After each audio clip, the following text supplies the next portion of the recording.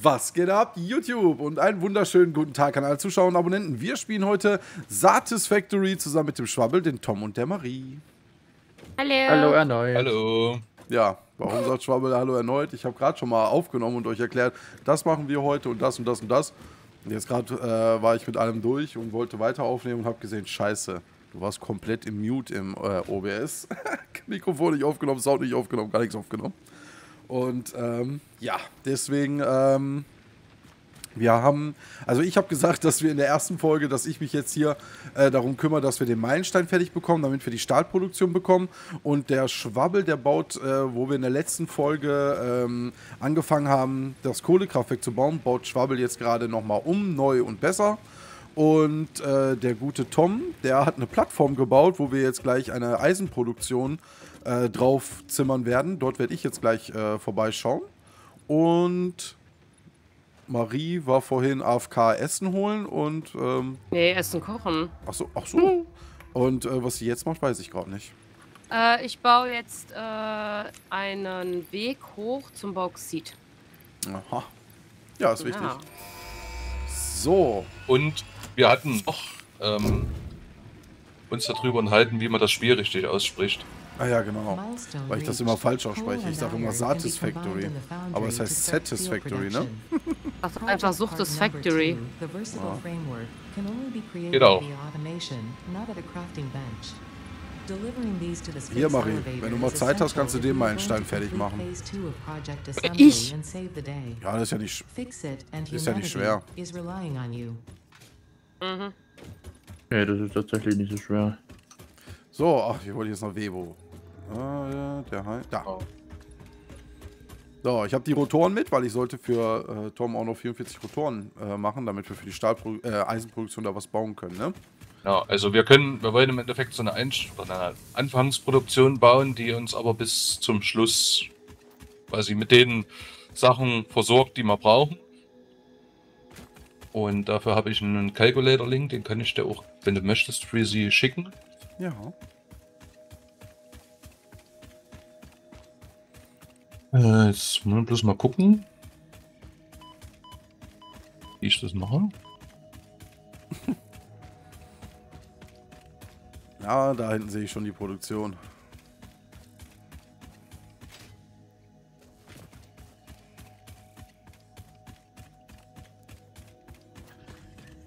Ich wollte dir eigentlich nur den einen schicken, aber irgendwie. Wo, wo, hast du es denn geschickt? Ich habe sie noch gar nicht so, geschickt, ah. weil das irgendwie nicht ging. Ah, hier. Hier ist schon alles mit Fundamenten voll. Boah.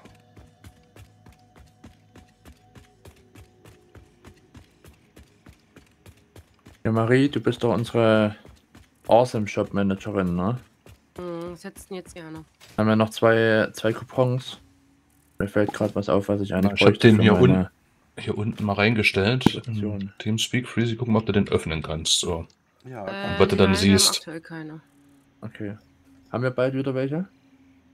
ich bin gerade welche rein. Gar nichts. Also, Okay. was heißt gar nichts? dann geht das. Ähm, Muss, das muss so gehen. Produktion.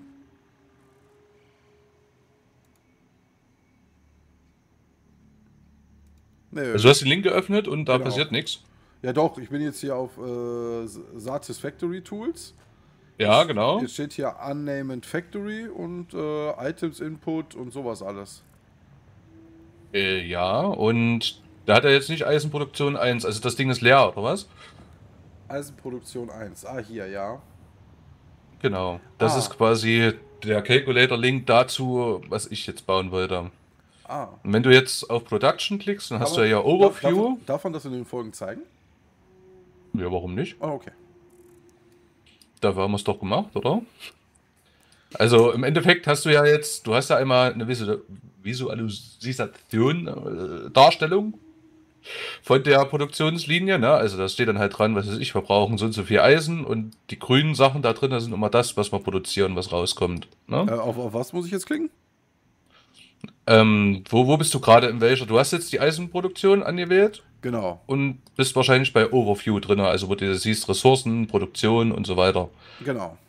Und da hast du einen Tab daneben, der heißt Visual Visualisation, verdammt schweres Wort, oder irgendwie Darstellung. Auf der, ich weiß nicht, ob du auf Deutsch oder Englisch hast. Auf Englisch. Die hab ich, Seite ja. auf Englisch. Das sind so Knoten, dann, wenn du da draufklickst.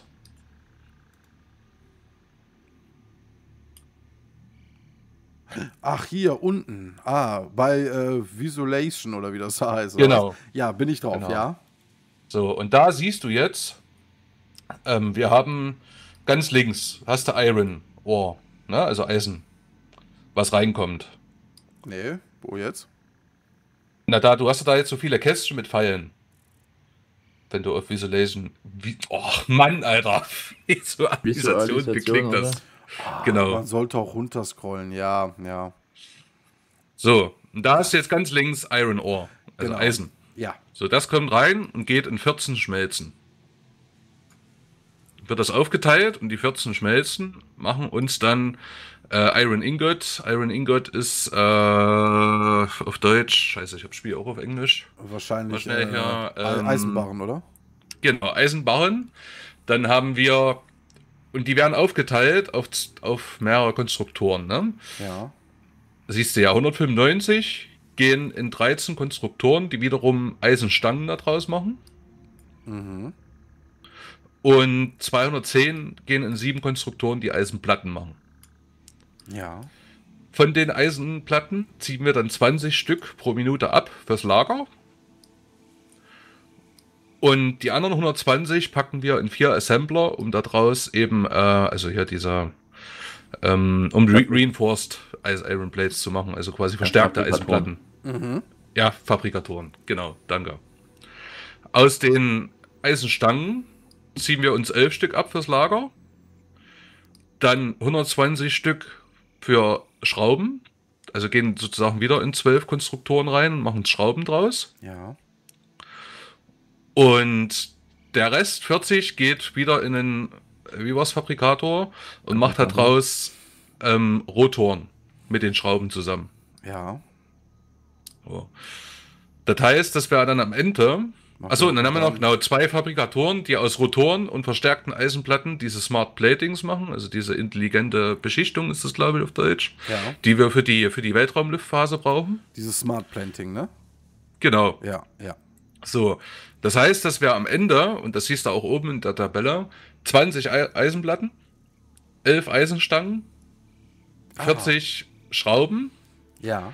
10 verstärkte Eisenplatten, 4 Rotoren, 4 modulare Rahmen und 4 von diesen Smart Plating pro Minute produzieren mit dieser, äh, mit dieser Anlage. Ja. So, also dass das genau das ist eben das, was wir dann rauskriegen, was wir uns lagern können, was wir halt nehmen können zum Bauen oder halt für diese für diese Weltraumliftphasen.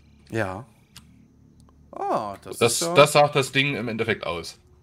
Die, ne? Also so hatte ich die Produktion geplant. ah, das ist cool. Und die können wir halt dann, wenn wir das wollen, ähm, einfach laufen lassen.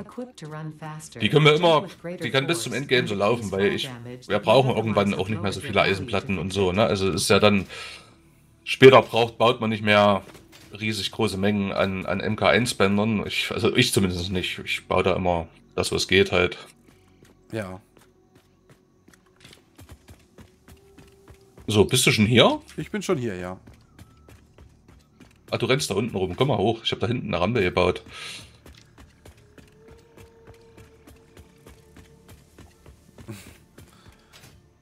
Das sieht hier schon echt wild. Boah, was? Ich dachte, du hast hier oben nur die Schmelzling gebaut. Na, ich habe jetzt angefangen, die Schmelzen und die Konstruktoren zu bauen, die Reihen, ne? Ja. Dass wir die dann fertig haben.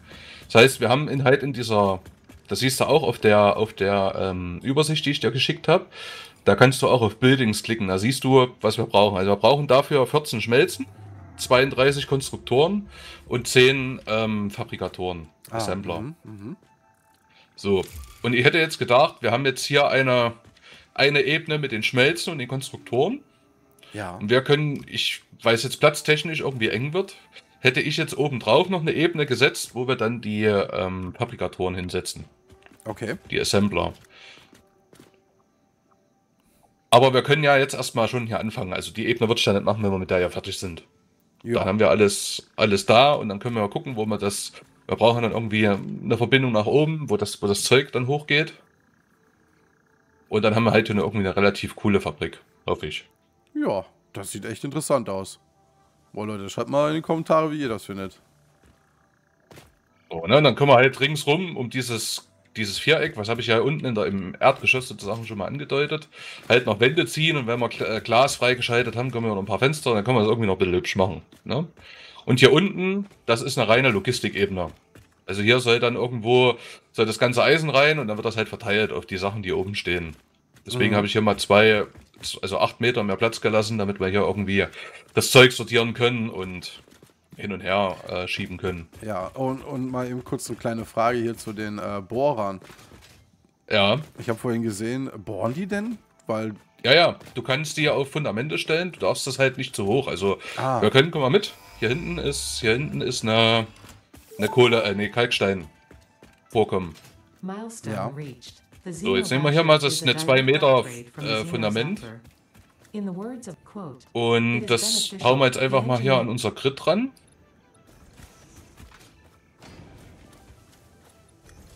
So, äh, warte, dann gehen wir hier, machen wir noch eine schnelle Rampe dran, dass wir hochkommen. Das geht jetzt natürlich nicht. Ne? Also hier kann ich kein, kein ähm, Miner draufstellen. mhm. Das funktioniert nicht. Aber ich kann, wenn ich jetzt einfach ein bisschen tiefer gehe an der Stelle. So, machen wir zum Beispiel so. Warte. Und das gerade so verdeckt ist, dann kann ich ja auch einen Miner draufstellen. Muss man natürlich hier komplett einmal machen. Ne? Dann schnappt er ja ein und ich kann den hier, Ja. könnte den hier bauen. Ich habe halt bloß gerade keinen, Keine keinen von diesen portablen Minern dabei. Aha. Aber dann wird das gehen und dann funktioniert er auch. Das ist geil. Und das snappt halt dann so ein bisschen zu den Grid. Also die stehen nicht irgendwie random da rum, ne? Also Mhm. wie du die gesetzt hast, sondern das passt halt alles so ein bisschen zu deinem Baugrid, was du dir angelegt hast. Ja. Okay. Das, was- deswegen habe ich bei mir das immer so gebaut, dass ich die komplett auf Fundamente baue. Und dann kannst du da halt schön äh, irgendwie ein Merger da vorstellen, dann können wir halt Bänder drauf machen. Aber ich hätte für dich eine kleine Rechenaufgabe oder eine kleine Aufgabe. Wir brauchen, hast ja an den Kalkulator gesehen, 405 Eisen die Minute in der Anlage. Von diesen, von diesen ganzen äh, Minern. Wa- wa- Was brauchen wir da jetzt nochmal? Sorry, was? Wir brauchen 405 Eisen pro Minute. Ja. in der Anlage. Wie viele Förderbänder brauchen wir? Also von diesen, ne, wir müssen ja dann äh, hier diese, diese, diese äh, Durchgänge anlegen, wie du sie hier siehst. Ja, den hier. Achso, dass da die, die Förderbänder draufkommen, ja. Genau. Wie viele von den Dingern brauchen wir? Und wie viele Eisenminen brauchen wir? Das könntest du mal rausfinden. Wie soll ich das denn herausfinden? Okay. Wir haben 405. Ja. Ich habe dir ja vorhin erklärt, wie man in den Spiel rechnen kann. Ja, mit N. Genau, machst du mal auf, dann gibst du ein 405, geteilt durch. Und jetzt, was ist das Maximale, was wir gerade auf einem Förderband ähm, transportieren können? Ja, das wäre. Also mit einem Förderband MK2 keine Ahnung. sind 120 pro Minute. Warte mal, woher weißt du das? Das siehst du, wenn du bauen, also wenn du irgendwas bauen willst, ja, Ja. dann gehst du auf Logistik und dann siehst du Förderband MK2 und in der Beschreibung steht drin, transportiert bis zu 120 Ressourcen pro Minute. Ah. Und das MK1 macht, 100, äh, macht 60 pro Minute, also die Hälfte. Ah, alles klar. So, und da wir aktuell MK2 haben und wir brauchen 405 Eisen Geteilt in durch. dieser ja. Fabrik. So, und wir können maximal 120 pro Förderband transportieren. Ja. Heißt das, 405 durch 120 wären 3,375, also wir brauchen vier Förderbänder. Okay. Einfach nur, um das Eisen da reinzuschieben. Ja, das muss halt immer, du musst immer äh, bei so einen Sachen, also wir haben ja dann auch später in der Fabrik, äh, haben wir ja auch irgendwo zum Beispiel diese Iron, ähm, die Eisenbahnen, die zu den Eisenplatten gemacht werden. Da brauchen wir 210 pro Minute. Ja. Das können wir nicht auf ein Band machen. Das müssen wir auf zwei aufteilen, weil wir halt maximal 120 pro Minute transportieren können auf ein Band. Mhm. Das musst du immer, immer mit im, im Hinterkopf haben. Ja. Ne? Das wird später, ist es dann, wenn du hier MK5 hast, das ist glaube ich 720 Items pro Minute oder 780 oder sowas, da ist das dann nicht mehr ganz so Aha. kritisch. Aber jetzt am Anfang musst du halt immer gucken, dass du die Förderbänder nicht überlastet. Das war ja eben hier bei denen, was der Heinze vorne gemacht hatte. Das ist ja alles gut, aber er hat halt nur 60, 60 Items abtransportiert und hat aber irgendwie, keine Ahnung, 100, 100 pro Minute produziert. Deswegen hat das da immer gestoppt. Und damit wir den Fehler hier nicht machen, müssen wir das gleich äh, machen. Das ist also gleich mit be- beachten. Und die 405 Eisen, da weißt du aber, wie du drauf kommst. Ne? Also gehst quasi, hast ja unreine Mine, da kriegt man Genau. 30 raus Genau. und so weiter. Ich habe jetzt hier mal durchgezählt, das sind alles unreine Minen. Das sind 1, 2, 3, 4, 5, 6, 7, 8. Äh, ich kann auch nicht den Kopf rechnen. 8 mal 30, 240 haben wir jetzt hier. Das heißt, wir brauchen irgendwoher noch ein bisschen so 165 Eisen. Und da hatte ich gedacht, das machen wir von der anderen Eisenproduktion, die wir da vorne an der Base stehen haben. Das bringen wir ja her. Okay. Was hältst du davon? Ja. Ja, dann kannst du da ja da drüben schon mal abbauen. Also hier äh, an der Eisen, anderen Eisenproduktion. Abbauen. Und das, na, die, die brauchen wir jetzt erstmal nicht mehr. Ne? ja. Du meinst Und die dann Base, kannst- ne? Die, die jetzt Ja, genau. Schrauben und so macht. Okay, ja. Genau. Ja, genau. Baue ich ab und dann bringe ich das alles hier. Und du kannst, du kannst da auch noch produzieren lassen und kannst ja zumindest die Förderbänder schon mal herlegen. Ja. Also ich würde dir halt empfehlen, du machst das, nimmst ja hier Foundations. Also, ja, kannst ja sowas hier bauen. Ähm, und dann sagst du jetzt, ähm, je nachdem wie viel Förderbänder du machen willst, so habe ich das immer gebaut, machst du hier so eine Wand hin, so eine Wand. Und dann kannst du das halt so schön gerade über die Map ziehen. Ne? Ja, hast du dann. Hättest du halt zwei Förderbänder, die ja schön laufen, dann kannst du irgendwie noch ein Dach drüber machen, wenn du das irgendwie später willst oder keine Ahnung. Ne, war so, so als Hinweis. Okay. Damit die nicht einfach so irgendwie quer durch die Botanik ranken. Ja. Du Ja. machst das. Ich mach das. Ich gehe fest davon aus. ich mach das hier oben mal schnell fertig und dann können wir äh, danach ja, weiter gucken. Ja. So, dann machen wir das doch mal. Scheiße, ich habe keine Eisenplatten. Ähm, da kannst du mal gucken. Ähm, an der Produktion, da liegen viele Eisenplatten in den in irgendein äh, einer von den Kisten. Ja.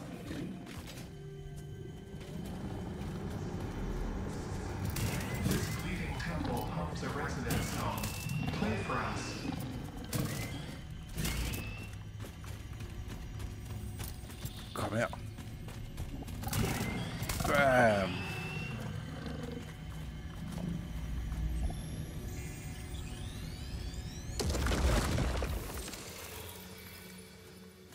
Sammeln hier ganz tolle Sachen, Leute. Hm, Schwabbel, was wolltest du haben? Ich? Ja. So, in den wolltest- Awesome Shop oder was? Ja. Die Wandhalterung für die Pipelines.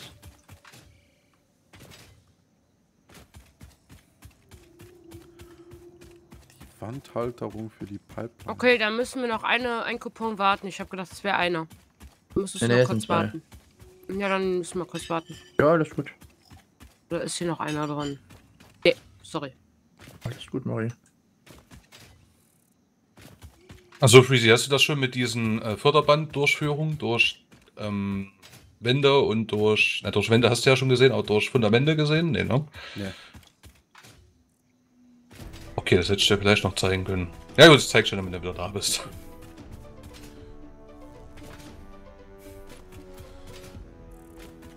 Danke für den Follow. Was? Ich habe meine Twitch-Overlay offen gehabt. Hier löst sich aus, kam gerade ein Follow rein. Also, Aber ich ist bin doch nicht, nice. Nee, nee, also ich bin nicht live, nee. So, bitteschön, Schwabbel habe ich. Möchte noch einer was? Ein Coupon habe ich noch. Wandförderung, Wandhalterung. Also Förderband, Wandhalterung. Also brauche ich jetzt gerade nicht. Kannst du machen, ja, Ich wenn wollte man. gerade sagen, es ist ein Coupon jetzt. Also Ja, so ja. oder so, irgendwann kaufen wir die Dinger. Gut. Ja. Dann, äh, wenn was ist, ich bin hier oben in meiner Base. ja, ja. Und isst oder was? Nee, mein Essen äh, steht noch neben mir und es war super lecker. Da kommt Schweinebraten. Mega geil. Nee, grad nicht hin. Ach ja, die Marie. Es ist halt Mittagszeit. Es ist 15 Uhr, Fräulein. Ja, der Kleine ist drüben. Gegessen wird um 12. Mittagsschlaf um 15. Ja. Ja, dann, dann ab ins Bett. Zwei Minuten hast du noch, Freezy. nee, nee, Quatsch.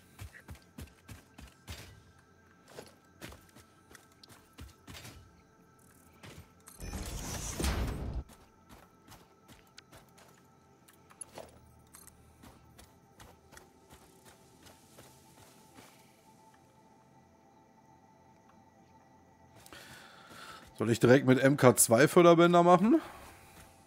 Kannst du machen. Wie viel, was haben wir da drüben für, für ähm, was haben wir da stehen? Wie viele, ähm, wie viel Eisen kriegt man da raus? Aus den Minern, die da stehen? Habe ich nicht drauf geachtet. Warte, ich komme mal vorbei. Ich glaube, das müssten normale Quellen sein, die wir bei uns haben, oder? Also 60 pro Minute. Und drei Stück, ne? Oder sind es noch zwei?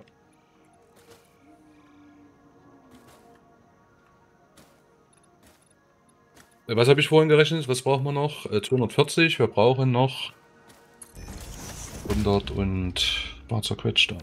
165.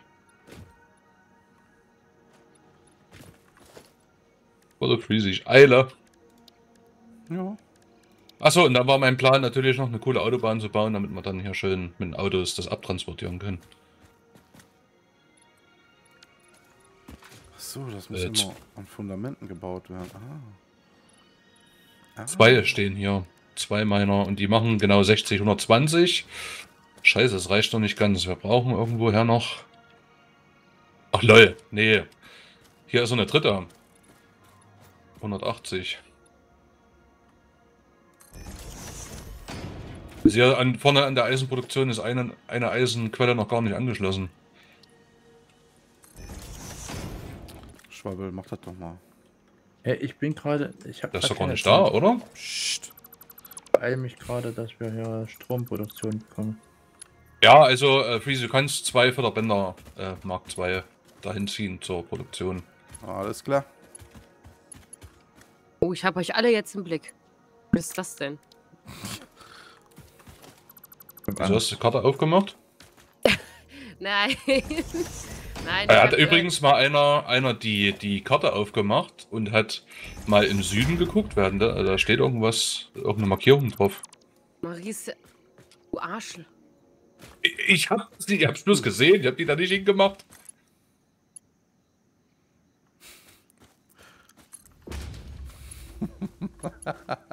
Was du das? Schwabbel. Nein, ich habe nichts gemacht. Ja, dann war es entweder Webo. Nee, Was denn? Webo. Warte mal, wo denn? Maries. Hintern.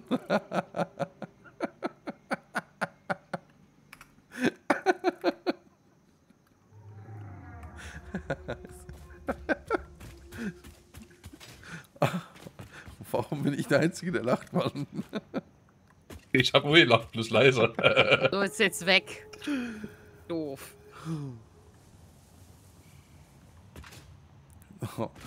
Warte mal, wo muss ich denn jetzt überhaupt hin? Mit meiner Bahn hier. Hast du, achso, hast, äh, willst du noch ein bisschen. Beton?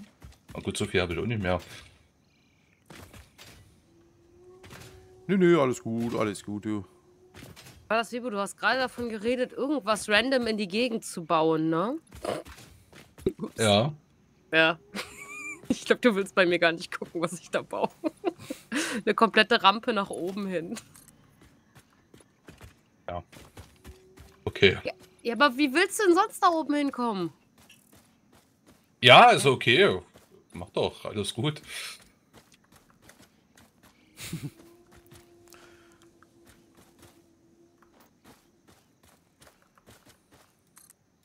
Kann man dann nachher was schön, also so, so ein schönes Transportmittel nehmen. Und ich rede nicht von Autos. Was? Ein Transportmittel, aber ich rede nicht von Autos. Motorräder. Nein, gibt's gar nicht. Außer du nimmst eine Mod. Klar gibt's äh, Motorräder. Kannst craften. Gibt keine Motorräder. Doch. Mhm. Vor allem, weil ich da alles schon freigeschaltet habe, ne? Aber nicht in der 1.0. Äh, nee, ne, habe ich auch nicht, weil das habe ich heute noch gemacht, weil ich wissen wollte, was alles gibt. Hast du einen Cybertruck gefunden? Oder Nee, das, goldene, das, das, das goldene Konstruktionsfahrzeug, kennst du das schon, Marie? Kennst du den goldenen Stecher? Ja, das bin ich.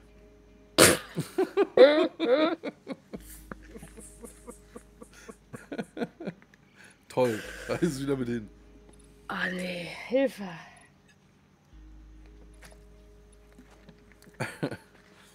ich brauche Beton. So. So, meine lieben Freunde, aber so werde ich das jetzt erstmal die ganze Zeit weitermachen. Das werde ich euch jetzt aber nicht mehr alles so zeigen, weil seht ihr ja dauert ein bisschen was. Wir müssen auf jeden Fall bis nach da ganz hinten. Kriegen wir auf jeden Fall hin. Und in dem Sinne wünsche ich euch noch einen wunderschönen Tag. Schaut auf jeden Fall zur nächsten Folge vorbei. Und wir sagen Tschüss und bis zum nächsten Mal. Haut rein. Ciao. Tschüss.